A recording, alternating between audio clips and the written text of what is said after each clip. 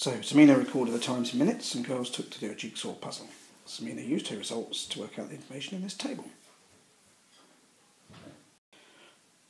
On the grid, draw a box plot to show the information in the table.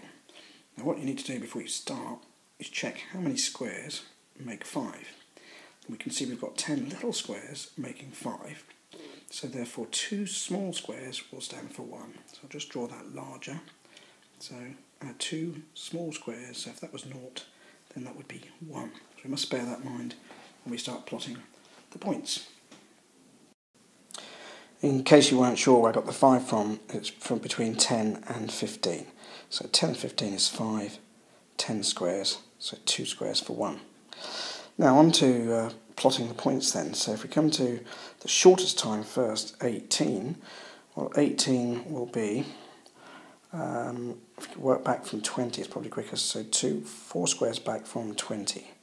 So with a ruler, you draw a better line than I can with my finger on this iPad, but you've got to mark it in one square in, uh, four squares in from the 20. So that's where your uh, 18 goes. Now your lower quartile 25, that's fairly easy to do. So mark that on the 25. Then the median at 29 will be two squares before 30. So let's mark that in next. And then the upper quartile at 33, well we're at 32 and a half in the halfway point, so one past that will be 33. And then finally the longest time, 44. Well, 44, it's going to be two squares before 45. And there we have our five marks, and that's just a question of drawing the box in the middle. Again, do this with a ruler in the real exam, and drawing the stems out to meet. So that's the, uh, that's the box plot to show the information about the jigsaw puzzle.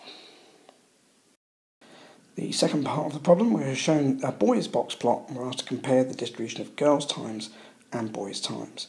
So you can see clearly that the girls um, have the higher median. So the girls are taking more time to do the jigsaw. So we'll make that statement first.